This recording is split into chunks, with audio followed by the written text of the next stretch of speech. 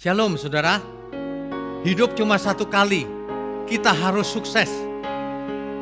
Kalau Alkitab berkata kita harus mati sebelum mati, itu artinya bukan lalu frustasi dan gagal.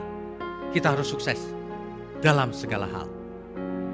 Yang jadi pengkhotbah harus sukses, tapi pengkhotbah yang benar. Yang jadi dokter harus dokter yang sukses, tapi menolong banyak jiwa yang membutuhkan. Semua kita harus sukses, tapi untuk Tuhan, jangan untuk diri sendiri. Kiranya ini menjadi peringatan bagi kita semua. Kalau bisa kita pun harus kaya, tetapi untuk Tuhan. Jangan seperti orang kaya yang bodoh yang di Alkitab itu. Ia kaya, tapi percuma karena ia hidup untuk diri sendiri. Oleh sebab itu, Bapak Ibu, ayo kita didik anak-anak kita. Ayo kita sebarkan ke saudara-saudara kita juga. Kita harus sukses, semangat, kerja keras, jujur.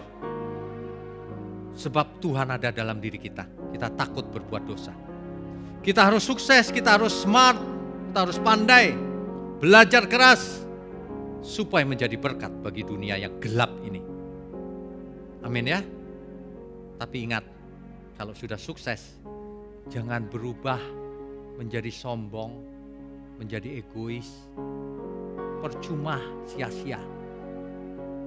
Semakin sukses, semakin dituntut banyak. Yang diberi banyak dituntut banyak. Kiranya ini mengingatkan kita semua.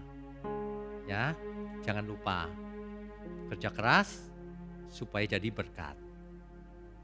Saya berdoa agar kita semua sukses, tapi untuk Tuhan. Amin.